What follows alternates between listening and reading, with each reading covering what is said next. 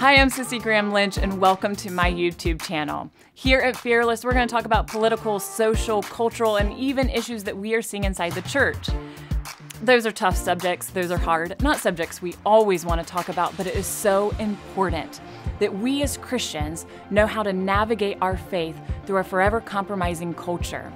And as the granddaughter of Billy Graham and the daughter of Franklin Graham, I am so thankful I had that example as grandparents and parents that set the example to not be ashamed of the gospel, but to proclaim it boldly.